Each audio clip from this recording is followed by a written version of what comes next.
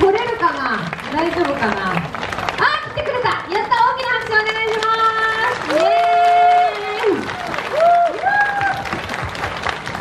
いやいやいやそんな後ろに行かないで。もうちょっと前に。もうちょっと前に。かっこいい。かなんか火の匂いがしますね。そうですよね。じゃあ一人ずつちょっと自己紹介をしていただいてもよろしいでしょうか。お願いします。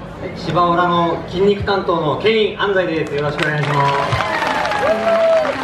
はい芝浦の直部ライトです。なんでライトさんです。芝浦の村文也です。芝浦の腕力担当ラギナカヤです。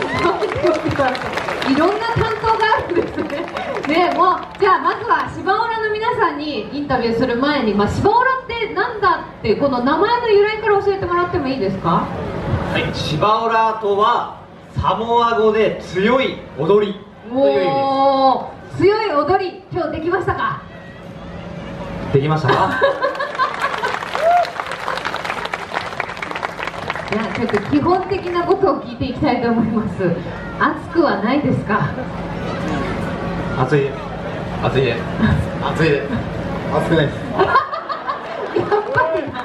素晴らしい。もう最後よく分かってらっしゃる。そこに立ってる意味をよく理解してくださってますね。ありがとうございます。いや暑いですよね。絶対真似しないでください。そうですね。それ言っときましょうね。でもあのもしかしたら大きくなったら僕もああいうのやってみたいと思ってる子がいるかもしれないですけど真似したい人でほらあ手分かったやってみたいのね。うん暑いよいやなんか嬉しくないですか？子供たちにそう言われるの。そうですねめちゃくちゃ嬉しいですね。ねえ。ぜひあのマリアナイフダンサーになっていただきたいと思います。いいもの持ってるね。でしょそれ。あれなんですかね？練習してんのかな？ね。あの皆さんにじゃあちょっとお聞きしたいんですけれども皆さんはあの小さい頃からああいうバトン回しとか上手だったんですか？いや僕は本当不器用で、はい。あの芝オラっていうかファイヤーナイフダンサーになっなっててから嘘でしょ？本当ですか？へえそうなんだ。みんなに聞いていいですか？はい。僕も同じく不器用でファイヤーになってから。やったんで練習して。最初からできました？あはい。やりたければ皆さんにもなんかチャンスがあるというか。あーいい話。笑ってますけど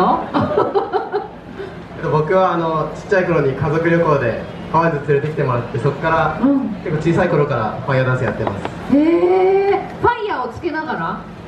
ファイヤーはつけないでちょっとつけないでね。そうだね作って、ね。あよかったよかった。あーすごい。ハワイアンズすごいね。来てそこで感動したわけだね。はい。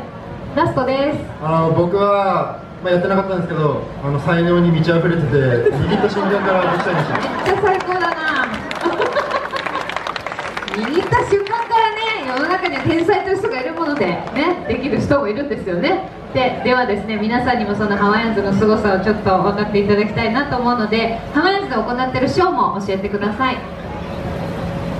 毎日昼の1時30分からとりあえずお昼のショーがありましてあと夜の20時30分から僕たち芝浦単独ショーを含む夜のグランドポリネシアンショーっていうのが毎日開演されてます。はい。ということはいつもハワイアンズの屋内でのね開催ということになってると思うんですけれども、はいこういった屋外での開催っていうのはどうですか？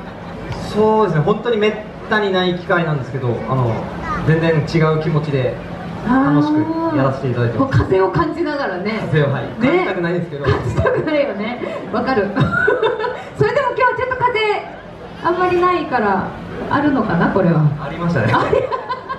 これでもやっぱりねすごくこう作用するということですからね。その中なんかね頑張っていただいてありがとうございます。もうそろそろお時間になりましたので最後にですねファンの皆様に一言ずついただいてもよろしいでしょうか。今日は本当にねお待ちいただいてる皆様多くいらっしゃったので楽しみにしてた方いっぱいいらっしゃったのでぜひ一言メッセージお願いします。はい、僕たち毎日ハワイアンズで元気に踊ってます。ぜひ遊びに来てください。ぜひハワイアンズでお会いしましょう。今日は楽しんでもらいましたか？よかったですぜひハワイアンズにも来てください。最後です。てくれればいつでも教えるんでやりたい人声かけてください。ありがとうございます